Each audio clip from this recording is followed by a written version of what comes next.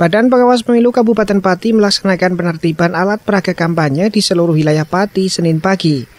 Bawaslu bersama dengan Panwascam, Satpol PP, Dishub, TNI, dan Polri melakukan penertiban yang dimulai dari alun-alun Pati menuju perempatan RSUD Suwontopati. Di lokasi tersebut banyak ditemukan APK yang belum masa kampanye terpajang di pinggir jalan. Petugas gabungan kemudian menurunkan APK tersebut. Rencananya penertiban APK dilakukan hingga 27 November nanti.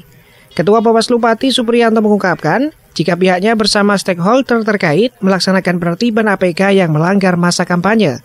Selain itu, juga menertibkan APK yang berisi ajakan untuk memilih atau mencoblos.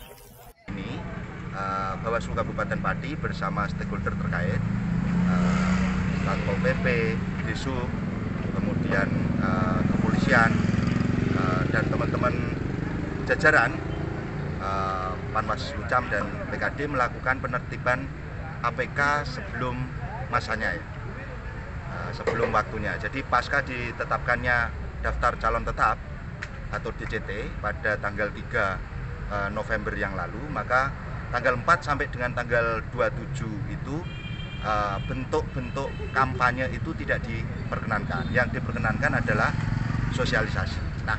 Supriyanto menambahkan, APK yang ditertibkan petugas gabungan kemudian dibawa ke Bawaslu Pati.